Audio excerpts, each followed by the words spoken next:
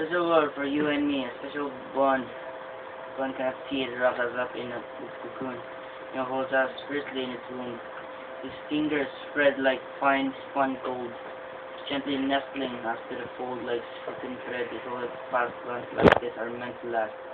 And though at times the thread may break, a new one for a minute wake, to bind us closer and keep us strong in a special world where we belong.